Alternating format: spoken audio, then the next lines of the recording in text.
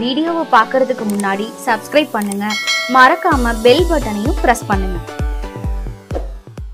நாமக்கல் ராசிபுரம் குழந்தைகள் விற்பனை வழக்கில் கைது செய்யப்பட்டு சிறையில் உள்ள பனிரெண்டு பேரின் நீதிமன்ற காவல் ஆகஸ்ட் ஒன்றாம் தேதி வரை நீட்டிக்கப்பட்டுள்ளது.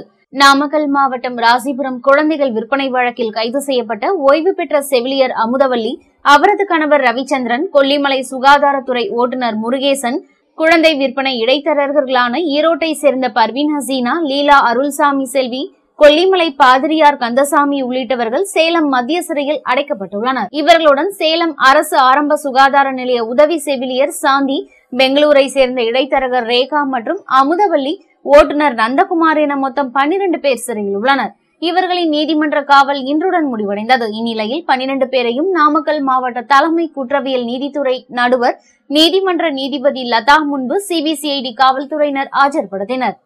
அவர்களை விசாரணை செய்த நீதிபதி லதா அனைவரது நீதிமன்ற காவலையும் வரும் ஜூலை பதினெட்டாம் தேதி வரை நீட்டித்து உத்தரவிட்டார். இதனை அடுத்து பனிரெண்டு பேரும் மீண்டும் சேலம் மத்திய சிறைகளில் அடைக்க அழைத்து செல்லப்பட்டனர்.